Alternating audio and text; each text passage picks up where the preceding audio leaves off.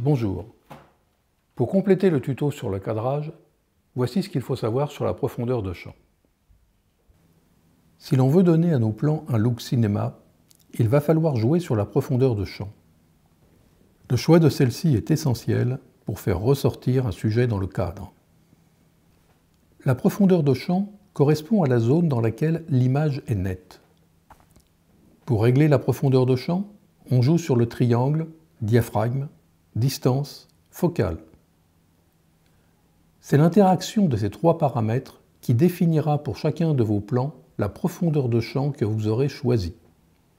Pour jouer sur la profondeur de champ, il est impératif d'avoir la mise au point et l'exposition en manuel. Plus l'ouverture du diaphragme sera importante, ou si l'on préfère, plus la valeur du chiffre f sera petite, 1,4 ou 2,8, plus la profondeur de champ sera faible. A l'inverse, plus l'ouverture du diaphragme sera faible, et donc plus la valeur du chiffre f sera importante, supérieure à 4, et plus la profondeur de champ sera importante. Afin d'avoir une ouverture du diaphragme importante, il faudra diminuer la lumière entrante avec un filtre ND.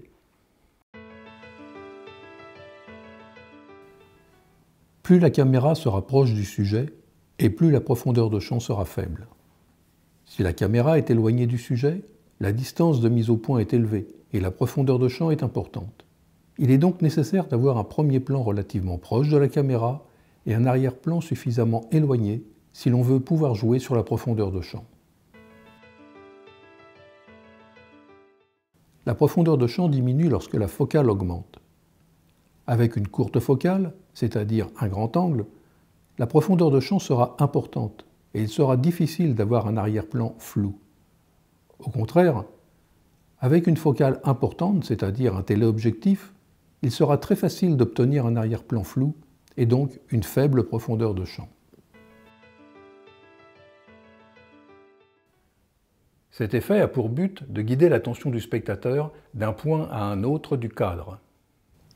On règle le point de netteté sur un sujet puis, au cours du plan, on fait varier le point de netteté sur un autre sujet, qui devient donc net alors que le premier sujet devient flou. C'est ce que l'on nomme la bascule de point, ou rack focus en anglais.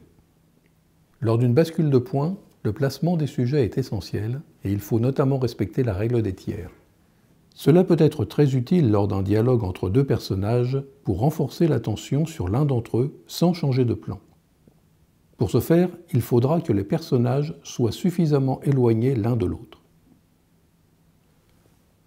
On peut aussi faire varier la netteté d'un personnage vers un objet, afin de montrer l'importance que prend l'objet.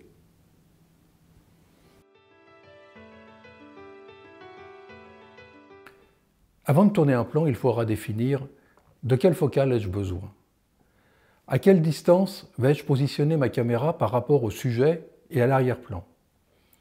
De quelle ouverture ai-je besoin par rapport à la profondeur de champ choisie Par ailleurs, l'histoire nécessite-t-elle une bascule de points?